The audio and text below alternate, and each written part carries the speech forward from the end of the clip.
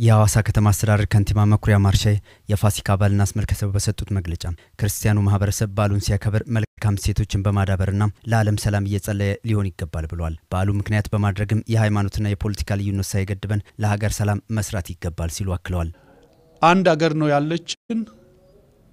አንድ አገር ለአንድ አገር የሁላችንም ኃላፊነት ለሰላሟ ዘብ የመቆሙ ጉዳይ ያለ ሃይማኖት ልዩነት ያለ ቋንቋ ልዩነት የሁላችንም ነው ሊሆን የሚችለው።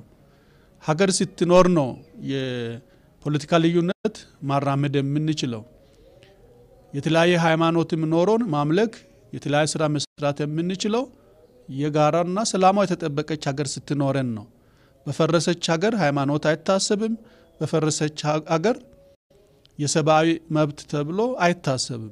ስለዚህ ላለችን ሀገር ሁላችንም አንድ በሚታረገን ሀገራዊ ጉዳይና ሀገራዊ ሰላም ጉዳይ ላይ ያለምንም ልዩነት ሁሉም ተግባብተን ልንሰራ ይገባል የሚል መልእክት ይኖረኛልና በዚህ መነሻ የእርቅ ኮሚሽኑ የጀመረውን ሀሳብና ተግባርን በቁርጠኝነት በመደገፍ ወደፊት እንዲራመድና አስተዋጽኦ እንድናደርግም ጭምር በዚህ አጋጣሚ መልእክትን ለማስተላለፍ ነው።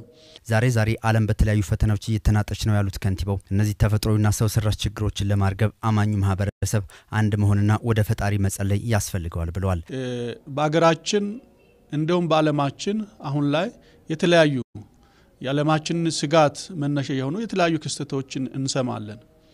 የተለያዩ ጦርነቶች፣ የጎርፍና የተለያየ ስጋት የተደቀነባት ዓለም ናት አሁን ላይ የምንሰማው። ለዚህ ሁሉ መፍትሄው ፈጣሪ ጋ ነው ያለው። ስለዚህ የክርስትና እምነት ተከታዮች ሌሎችም በየሃይማኖቶቻቸው የየራሳቸውን ድርሻ እንዲወጡ ይጠበቃል። ሀገር ሰላም የምትሆነው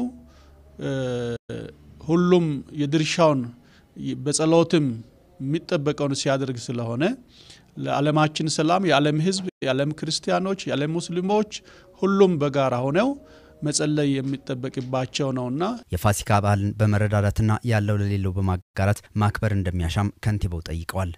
በዚህ መነሻ የፋሲካን በዓል ስናከብር ሁላችንም አቅም የሌላቸውን አቅመ ደካሞችን በማስታወስ በማጋራት ክርስቶስ ለሰው ልጅ ሁሉ ነው የተሰቀለው፣ ሕይወቱን ዋጋ የከፈለው። በዚህ መነሻ ከጎናችን ያለ ወንድማችን እህታችን ተርቦ ታርዞ የሚያልፍበት ወቅት ሳይሆን አቅፈን አብረን እየተደሰትን የምናሳልፍበት ወቅት እንዲሆን የሃይማኖት አባቶች የተለያዩ ስራዎችን እየሰሩ እናውቃለን። መንግስትም የተቻለውን ሁሉ እያደረገ ነው። ሁላችን ከጎናችን ላለው በአቅማችን ልክ ማድረግ ከቻልን እኛ ተርፎን የምንጥለውን ቢያንስ የሚጣለውን ያክል አስቀርተን ለተራበው ማድረስ ማጉረስ ብንችል ትልቅ እፎይታ ስለሆነ የተራበውን ደግሞ በማብላትና በማጥገብ የሚገኘው የህልውና እርካታ ከፍ ያለ ስለሆነ የሃይማኖት ተከታዮች በሙሉ ይህንን በማድረግ በማጠናከር ከድሆች ጎን እንድንቆም በዚህ አጋጣሚ ጥሬን ነው የማስተላልፈው።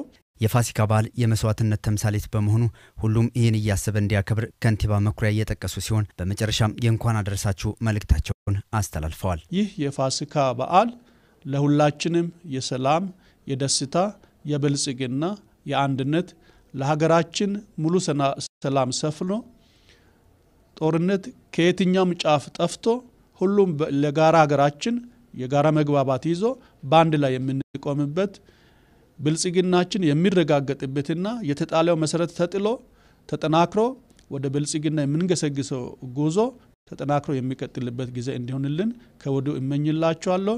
በድጋሚ እንኳን አደረሰን፣ እንኳን አደረሳችሁ ለማለት እፈልጋለሁ።